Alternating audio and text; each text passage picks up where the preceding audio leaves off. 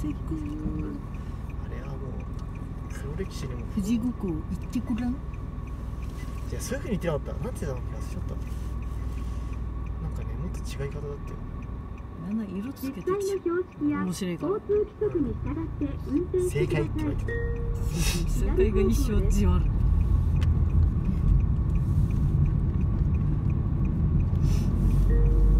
この先しばらく道なりですコーラ飲んじゃおうかな。どうしようかな。後にさう